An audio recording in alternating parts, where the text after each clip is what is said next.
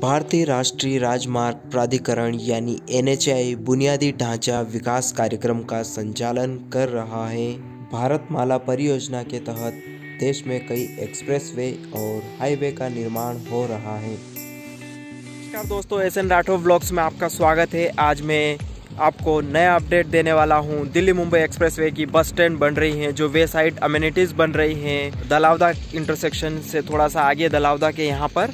सारी वे side amenities यहाँ पर जो बन रही हैं बस स्टैंड के अंदर, वो उन सारी चीज़ों का मैं अपडेट दूँगा, पास में जाकर कि क्या क्या चीज़ें बन रही है यहाँ पर। को आगे चलकर ये भी बताऊँगा कि कहाँ क्या चीज़ बनने वाली है। सारी चीज़ें यहाँ पर बन गई है। कुछ समय पहले ये जगह बिल्कुल सुनी जगह थी, खेती वाली जगह थी, लेकिन आज ये बहुत ही अट्रैक्शन का पार्ट बन गई है दिल्ली मुंबई एक्सप्रेसवे की, क्योंकि यहाँ पर पूरी वेसाइट अम्यूनिटीज़ बन रही हैं, जिसमें होटल्स वगैरह सब कुछ होगा तो हो, मैं आपको आगे चलकर, पास में चलकर वो भी दिखाऊँगा कि कहाँ पे क्या बन रहा है। तो बने रहिए ब्लॉग में।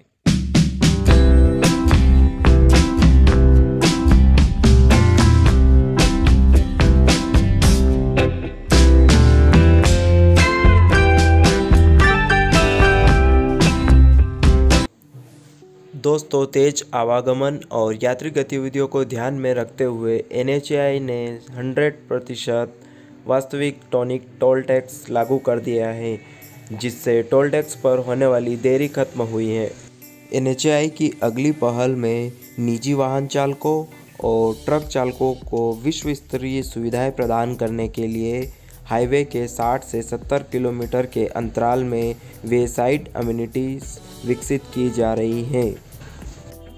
दोस्तों एन सभी ग्रीनफील्ड एक्सप्रेसवे को कवर करते हुए इन वे साइड अम्यूनिटीज़ का विकास कर रहा है, जिससे वो चाहता है कि एक राष्ट्रव्यापी ग्रिड तैयार हो जाए इन वे साइड अम्यूनिटीज़ का।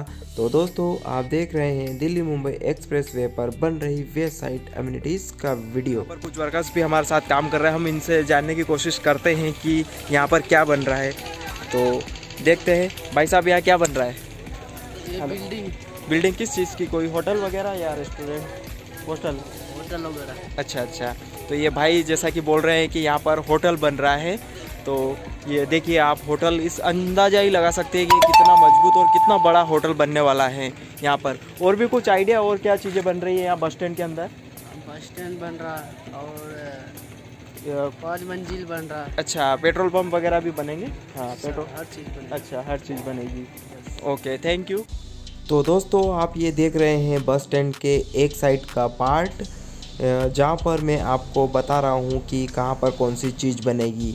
अभी हमने यहाँ पर जो वर्कर्स काम कर रहे थे उनसे जानने की कोशिश करी लेकिन वर्कर्स को ज़्यादा कुछ पता नहीं है कि यहाँ किस चीज़ की बिल्डिंग बन रही है। बस इनको इतना ही पता है कि यहाँ पर बिल्डिंग बन रही है, क्योंकि जब ये बिल्डिंगें अलग अलग रूप ले लेगी, कहीं होटल, कहीं शौचालय का, तब जाकर ये पता चलेगा कि ये इस चीज़ की बिल्डिंग है। तो दोस्तों, ये बस स्टैंड और वे साइड अम्यूनिटीज़ दो पार्ट में बन रही हैं, एक रोड के इस साइड और एक और रोड के उस साइड दूसरी तरफ़ मैं आगे चलकर वहाँ भी बताऊँगा। ये दूसरी साइड जहाँ मैं ये अभी जा रहा हूँ, ये दूसरी साइड का पार्ट है। यहाँ पर भी इतने ही बिल्डिंगों के लिए पिलर्स खड़े किए जा रहे हैं। तो दोस्तों, इन सारी चीज़ों में यहाँ पर होटल्स, रेस्टोरेंट, पेट्रोल पंप और साथ ही साथ लोकल हाट बाज़ार की भी व्यवस्था होगी ताकि स्थानीय लोग अपनी कलाकृतियाँ यहाँ पर बेच सके, जिससे कि लघु उद्योग और कुटीर उद्योग को बढ़ावा मिलेगा और रोज़गार के भी अवसर बनेंगे स्थानीय निवासियों के लिए। वहीं दोस्तों, बात करें ट्रक ड्राइवरों और राहगीरों की तो इन वेसाइड अम्यूनिटीज़ का ये भी फ़ायदा होगा। इसलिए ये विकसित की जा रही है कि ट्रक ड्राइवर भी अपने सामान की चिंता किए बिना यहाँ पर ट्रक आराम से पार्क करके रेस्ट कर सकते हैं और सफ़र का आनंद ले सकते हैं। वहीं दोस्तों कहीं कहीं बड़ी जगह वे साइड अम्यूनिटीज़ में मीटिंग रूम्स भी होंगे। और सारी मेडिकल सुविधाएँ भी होगी हर जगह वे साइड अम्यूनिटीज़ में हॉस्पिटल्स और ट्रामा सेंटर्स और साथ ही साथ दोस्तों कोल्ड स्टोरेज और सारे स्टोरेज की व्यवस्था भी होगी इन वेसाइट अम्यूनिटीज़ में। और दोस्तों, वहीं बात करें इमरजेंसी की स्थिति पर हाईवे पर तो इन वेसाइड अम्यूनिटीज़ में कहीं कहीं हेलीपैड भी बनाया जा रहा है ताकि इमरजेंसी से निपटने के लिए तुरंत सुविधाएँ, तुरंत मेडिकल सुविधाएँ उपलब्ध कराई जा सके।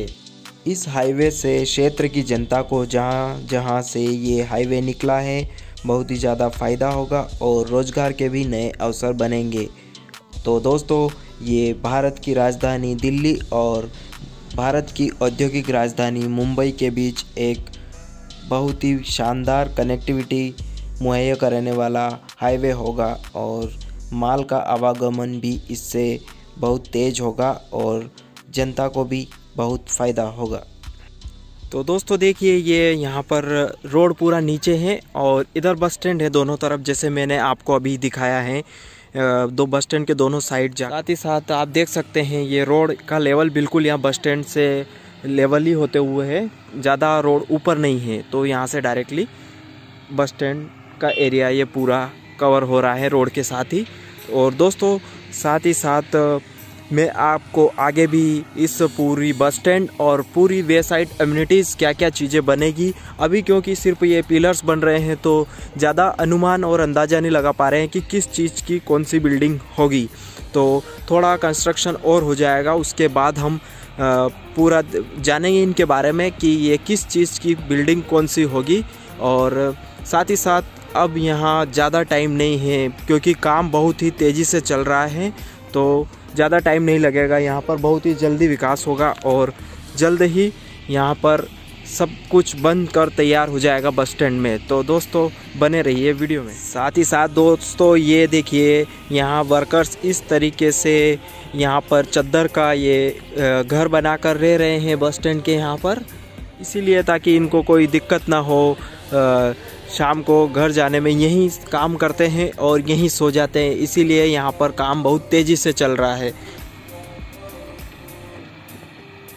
दोस्तों आपने देखा दिल्ली मुंबई एक्सप्रेस वे के यहाँ पर जो बस स्टैंड बन रही है इसका पूरा वीडियो और वे साइड अम्यूनिटीज़ के बारे में भी जाना। साथ ही साथ आपने देखा कि, कि कौन सी बिल्डिंग किधर है और मैंने आपको दोनों तरफ़ बताया है।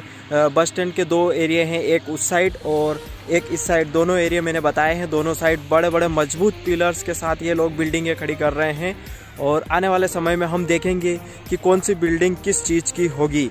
तो दोस्तों, आपने ये वीडियो देखा, इसके लिए बहुत बहुत धन्यवाद। दोस्तों, वीडियो को लाइक करें, दोस्तों के साथ शेयर करें और साथ ही साथ आप चैनल पर नए हैं तो चैनल को सब्सक्राइब करें और बेल आइकन प्रेस कर लें ताकि आगे भी आपको इस तरीके के वीडियो के अपडेट मिलते रहे। तो थैंक यू दोस्तों, जय हिंद।